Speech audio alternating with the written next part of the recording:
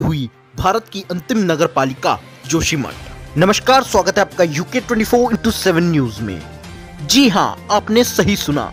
जोशीमठ नगर पालिका अब पूरी तरीके से मालामाल हो चुकी है।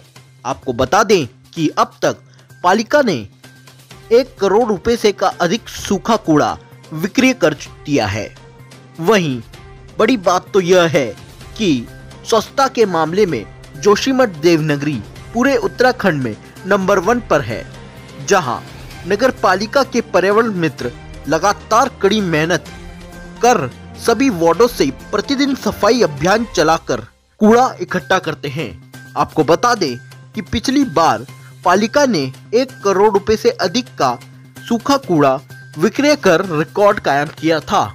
वहीं हाल ही में पालिका ने एक लाख सैतालीस हज़ार तीन सौ बत्तीस रुपए का सूखा कूड़ा विक्रय किया है और अभी भी पालिका के पास करोड़ों का सूखा कूड़ा गोदाम में मौजूद है।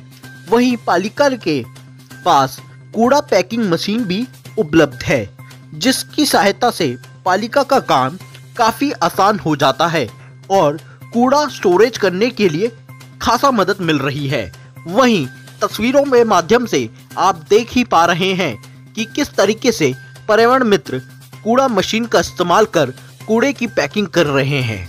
आप देख रहे हैं नवीन भंडारी की रिपोर्ट जोशीमठ से UK twenty four into seven के लिए।